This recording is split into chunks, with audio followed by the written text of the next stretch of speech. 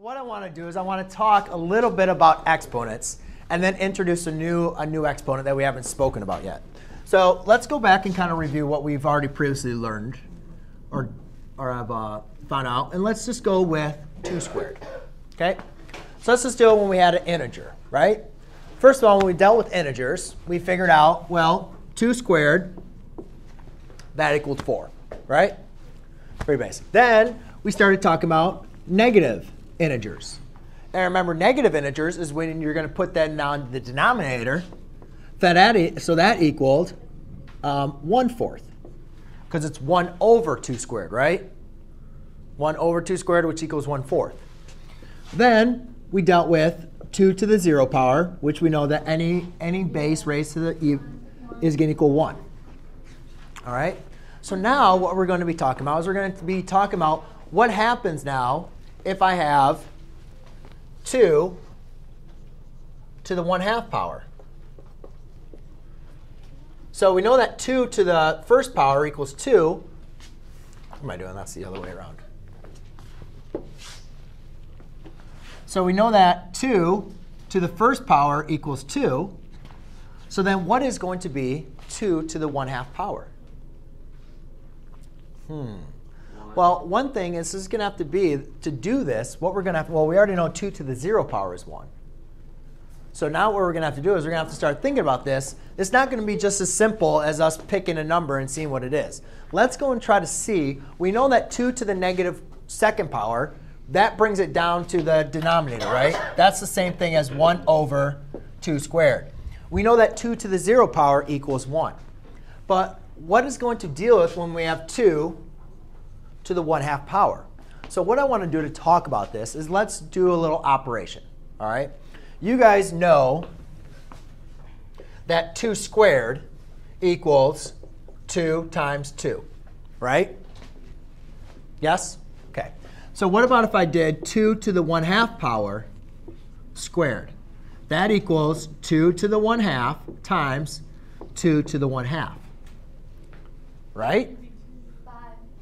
And then what do you do when you have fractions? What happens when you have x to the m times x to the n? What do you do with the exponents? You add them. So what's 1 half plus 1 half? Equals 2 to the first power. 1 half plus 1 half is 1, right? So it's 2 to the first power.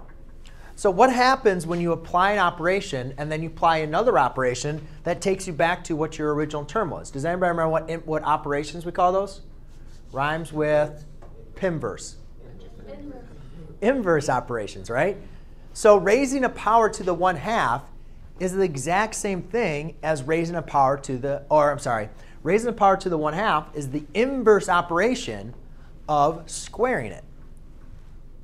Right? Yes?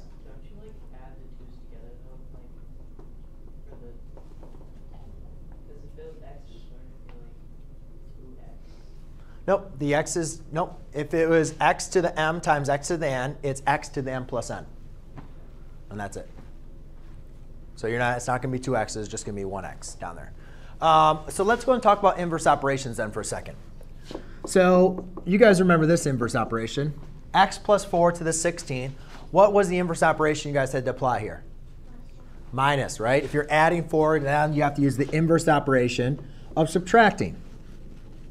Good, nice little algebra, algebra 1 review for you. Then what about if I did this? x squared equals 16. Now what would be the inverse operation of squaring? Square root. But hold on a second. Um, we just said that the inverse operation of squaring is, is raising it to the 1 half power. Right?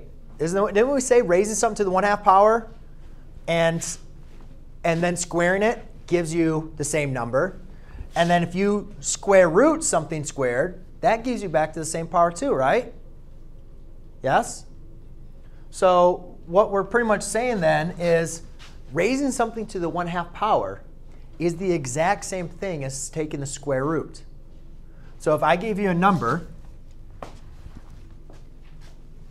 if I did 4 to the 1 half power, you guys can plug this in your calculator if you want.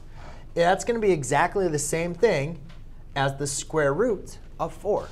These are equivalent. All right? So the sum I want you guys to write down, and here's what you're going to have. Here's your rule. b to the 1 over n is equal to the nth root of b.